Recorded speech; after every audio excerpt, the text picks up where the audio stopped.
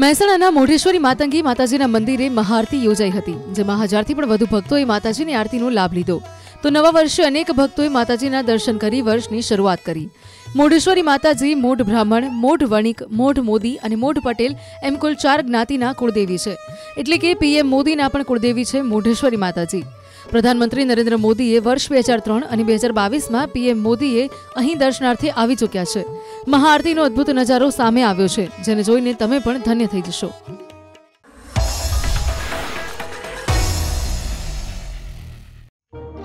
પ્રધાનમંત્રી નરેન્દ્ર મોદીએ ઝારખંડના રાંચીમાં રાજ્યપાલ ભવન ખાતે બે બાળકો સાથે કરેલી મુલાકાત જોરદાર વાયરલ થઈ છે.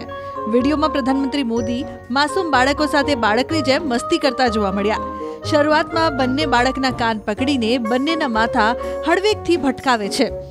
બાદમાં રૂપિયાનો એક સિક્કો લઈ પીએમ મોદી પોતાના કપાળ પર ચોંટાડે છે અને માથામાં પાછળથી ટપલી મારતા જ સિક્કો પડી જાય છે.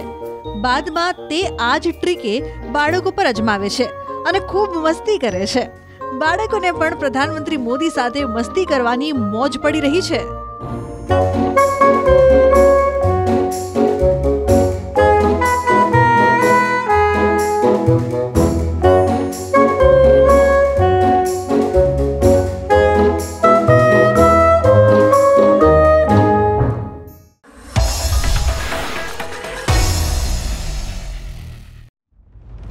ના કોઈ આધાર કે ના કોઈ ટેકો.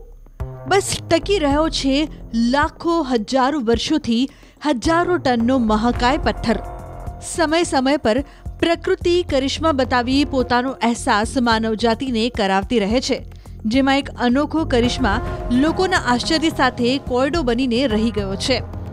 જબલપુરના મદન મહલ વિસ્તારમાં આવેલી એવી જગ્યા જ્યાં સેંકડો વર્ષોથી એક મહાકાય પથ્થર એક જ પોઈન્ટ પર ટકેલો છે, જે આજ સુધી ના ટસનો મસ થયો કે કોઈ કુદરતી આફત તેને હચમચાવી શકી.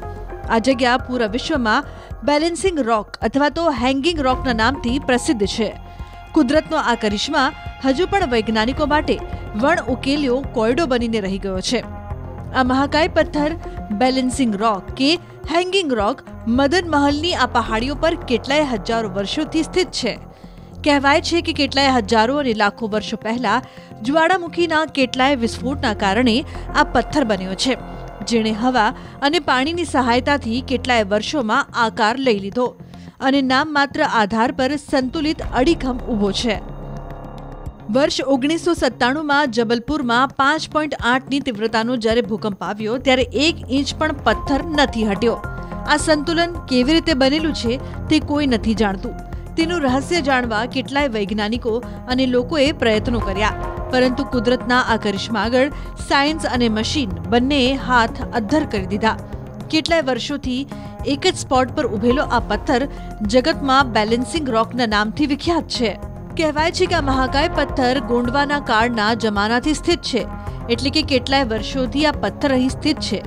જેની પાછળનું વિજ્ઞાન જાણવાના કેટલાય પ્રયત્નો થયા, પરંતુ કોઈ ઠોસ અને ચોક્કસ કારણ સામે નથી આવ્યું. કુદરતનો આ કરિશ્મા ગરમી હોય કે ઠંડી કે વરસાદ કે પછી ભૂકંપ, કેટલાય વર્ષોથી લઈ આજ સુધી આવી જ રીતે સંતુલન બનાવી રાખ્યું છે. જેને જોઈ દરેક કુદરતના કરિશ્માને ચમત્કાર માની રહ્યા છે.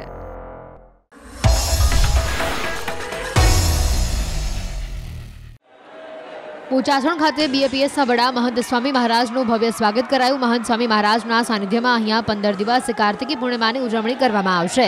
આ મહોત્સવ દરમિયાન સમગ્ર ગુજરાતમાંથી લાખો હરિભક્તો ઉમટશે. ગુરુવારે મહંત સ્વામીનું બોચાસણમાં આગમન થતાં જ હરિભક્તો ઝૂમી ઉઠ્યા. તેમની એક ઝલક મેળવવા માટે આતુર જોવા મળ્યા. મહંત સ્વામીએ બોચાસણ મંદિર ખાતે પૂજા આરતી કરી.